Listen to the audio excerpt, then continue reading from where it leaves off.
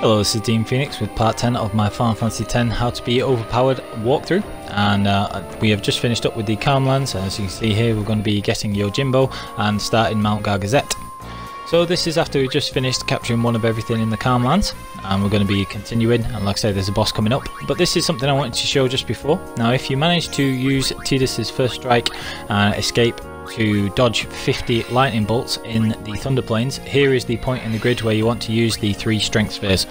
Now, 3 strength spheres plus 12 uh, strength for any character is a massive buff and it's extremely useful, so if you did manage it, then that's good. And uh, you should think about maybe doing that. Uh, I believe you can backtrack to the Thunder Plains at this point, but I didn't actually try it in this playthrough, so that is a consideration if you want to try it. If you haven't done that, then don't worry about it. You can always just keep uh, the people in the air in that area of the grid at the end of Tidus's grid, or teleport them there later and use that. Now with Yuna, I'm actually going to be changing tack a little bit. So instead of finishing off her own grid, even though it does have some nice plus four boosts and gets you holy, instead I'm going to be moving her to this end part of Lulu's grid so that she can go for double cast and Lulu can go for flare. Now you can either use a friend sphere, which is what I did there, and just teleport to Lulu directly if she's at, if Lulu's at that area of the grid. What's slightly better is to use a black magic uh, sphere and just go to Thundaga, which is the middle of those four uh, black magic spells. And then you can use uh, one of the black magic spells to go to to activate Thundaga, and then use a return sphere, which are less rare, so more common than the friend spheres, and just use a return sphere to teleport Yuna to Thundaga. Now if I'd have done it that way here, it would have saved me a few S levels. So you may want to consider doing it that way, especially because the Black Magic Sphere and Return Sphere are, like I say, more common than Friend Spheres, which are quite rare. Now after you've activated those Black Magic spells, uh, you can use Yuna to come down to this part of the grid.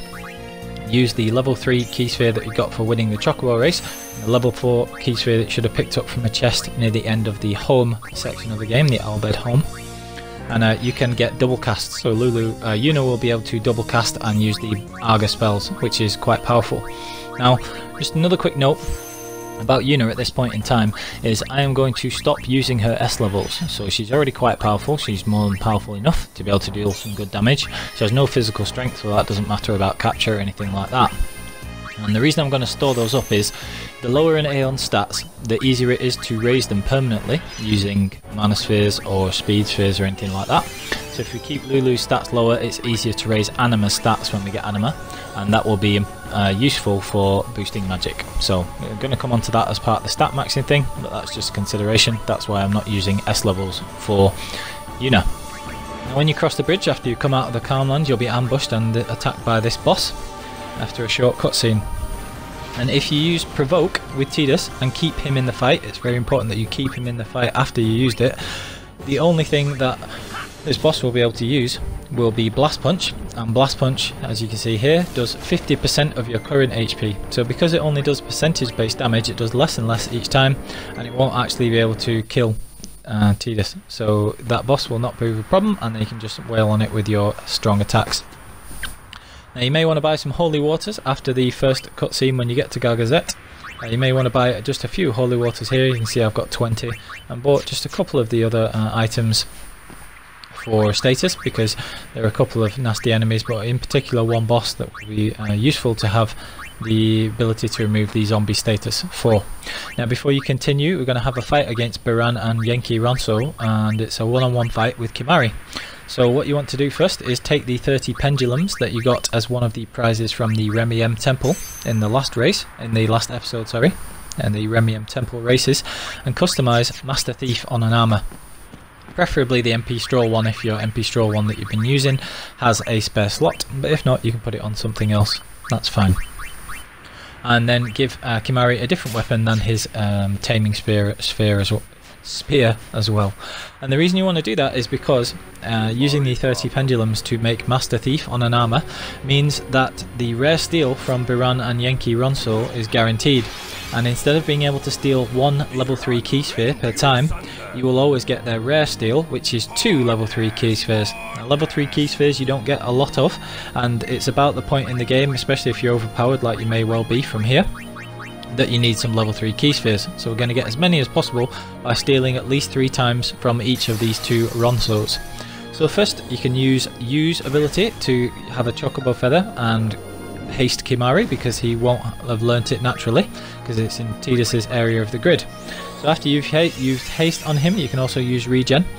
He probably has a, he should have protect and shell as well you can use those if you want, but it's not really necessary uh, because these guys shouldn't do a lot of damage anyway, really. Um, but you can use Protect and Shell if you wanted, and then Regen will uh, last for a little while. It's not indefinite, so if your health starts going down again, uh, it's probably when Regen has run out, so you'll need to recast it. anyway, once you've got yourself uh, hasted, you can just steal, and using that uh, Master Thief, you'll get two level 3 key spheres a time. Now you want to steal at least three times from each of the Ronsos. They are obviously separate enemies, so they have uh, the chance of stealing goes down each time you successfully steal though. And you just want to steal from them as many times as possible. So at least three times to get uh, 12 level 3 key spheres.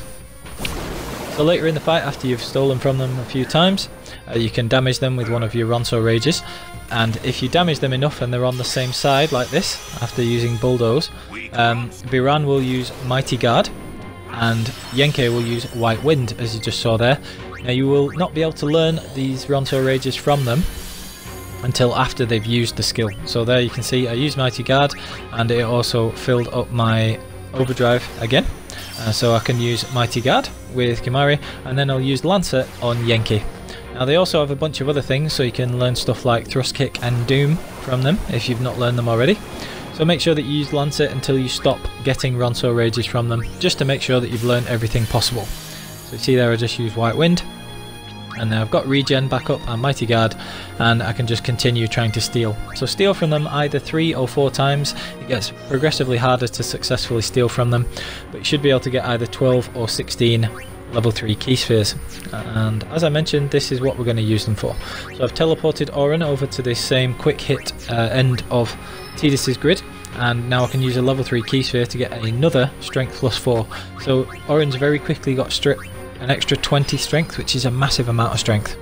As I was saying before if you didn't do the 50 lightning planes dodging uh, you can always just keep Auron Kimahri and Tidus in this part of the grid until after you've got the airship and then you can go and do the lightning dodge when you've got encounter none which is easier. Now Tidus is there and he can break into Yuna's grid for a little bit of agility. Yuna's just going to sit where she is until uh, the end game where I can start leveling her up after I've got Anima and that'll be part of the end game stat maxing. Now Kimahri can use one of the level 3 key spheres to break out of Yuna's grid and into Tidus's and he can learn quick hit and then look at that there is just four of those strength spheres just sat there and another within a couple of sphere, a few sphere levels of striking distance so he will very quickly get 16 strength so uh, that's another big boost for Kimahri, so his strength goes up, and so he's a bit more balanced than just being a magic user. And now Auron, Tidus, and Kimahri all have higher strength. Now, if you reach the end of Rikku's grid, as I'm going to show in a minute, uh, I also like to get the strength that's at the end of her grid, because there are a few. Uh, one, two level 4 plus 4 strength spheres locked behind a level 3 key sphere. And uh, that's very useful as well. And as you can see, Lulu uh, just makes her way going up towards Flare, which is the end of her grid. And once she's got Flare and all the plus 4 magics at the end of her grid, uh, that's quite useful for her, and that's more or less where I will pretty much um, leave Lulu, because she's not a good end-game character for physical damage or anything like that, so I pretty much stop using her after her grid is largely finished. So here you can see uh, Rikku has backtracked just a little bit and she's able to do a level 3 key sphere and get another plus 8 strength and whilst Rikku's typically not been a hard hitter it's now quite easy to make her a hard hitter. Now I've got two skill spheres that you pick up through the game. Um, if you've got both of them you can use one to move Riku to quick hit and then she can move through Tidus's grid. So she uses a skill sphere to activate quick hit and then a return sphere to move to that section of the grid and she will actually move to quick hit and then she can get that plus 16 strength as well and move through Tidus's grid. I also use the other skill sphere to get Tidus Mug which is useful. So after you've done that fight with uh, Yenke and Biran we're going to go back to the en entrance of the Calmlands and where we fought Defender, you can come here and get the Rusty Sword. So you go down the ramp under the bridge where you fought Defender then you can come into the sunken cave. In the sunken cave there's a couple of useful things to get. Uh, as you can see here I've actually got um, the fortune sphere that you get in that chest there. So I'm just going to move Tidus, Tidus back, uh, get a few S levels with him and activate this plus 4 strength. And then I'm going to use a look the Luck Sphere that you got from uh, the one of the previous temples as the Destruction Sphere prize in Macalania, and then use a Fortune Sphere to increase Tidus's luck. And that will give him a better chance of hitting flying enemies and gives you two characters that can hit flyers. If you come across any Tonberries in the Stolen Cavern, do try and catch them, but you'll want to weaken them with magic as much as possible. So maybe um, the double cast that Yuna just got, and Flare if Lulu has it yet. So you want to weaken them and try and keep it asleep by hitting it with a Sleep Buster or Sleep Attack to stop it from being able to use its counter attack. And then use Sensor to wear down its HP with magic, but finish it off with a strong capture attack because they're quite rare and you want to catch them. Now towards this part, uh, right near the end of the Cavern of the Stolen Fayth, this cave area, uh, there is an Al Bhed Primer as well, so make sure you pick that up. After you continue on, you reach the back of the cage and you get Yojimbo and you want to choose this bottom option to defeat the most powerful of enemies. Then he will haggle and you have to pay him a quite large sum to be able to get him as an Aeon. Now Yojimbo, uh, you just want to start off offering 125,001 gil. And uh, then knock it down to 112501 gil.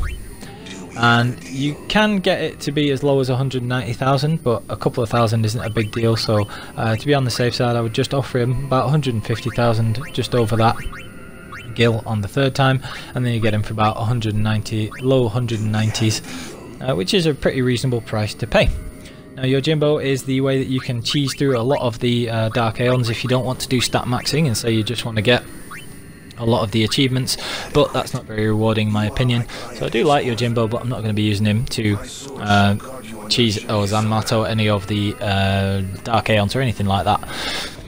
But he is uh, an Aeon that you need, because you need all of the Aeons to get my, the Magus Sisters. Anyway.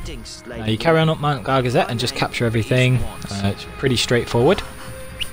But it's very very important that when you get near the top of the mountain and you see this guy this is Wantz and you must must speak to him. It's so important. Now he is O'aka's brother and a merchant and the reason that you must speak to him on Mount Gagazet is this is the only chance you get to speak to him here. And if you do not speak to him you don't have to buy anything but you have to speak to him if you don't speak to him then he won't appear in Macalania Forest at the end of the game. And it's very important in the end game that he's there because he sells empty four slot weapons that you can customize. And even more importantly he, sell, he sells four slot armors. And that is what you need to be able to customize the final armors. You can get them from fiends but they're very rare drops. And you have no control over which character they drop for. And so that costs you either a lot of time or a lot of money or both trying to get those drops. So make sure that you speak to him.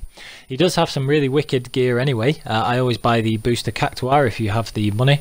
It gives magic booster and plus 15% magic, which will double the amount that Lulu costs to uh, spend on spells, but it will increase her damage. But the thing that's really neat about that is you can then use 20 of the 3 stars that you got as the 5 chest prize from the Remiem Temple Chocobo races and put 1 MP cost on it, which is the combination that her Celestial weapon actually has as well. And so even though uh, it's doubling the amount of magic, it's only doubling that 1 MP. So everything does more damage for her, but costs only 2 MP per spell. So that's a pretty good use of those 20, 20 of those 3 stars, if that's the way you want to play it. There's also the Blessed Bracer and the Blessed Ring, which will give uh, either Auron or Yuna zombie ward and that's quite useful. So you may want to consider buying at least one of those um, for one of the bosses Yunalesca that's coming up. So make sure you speak to Wantz and then we're going to be continuing and doing the bosses at the top of Gagazet and then going to Zanarkand so thank you for watching please like and subscribe for more videos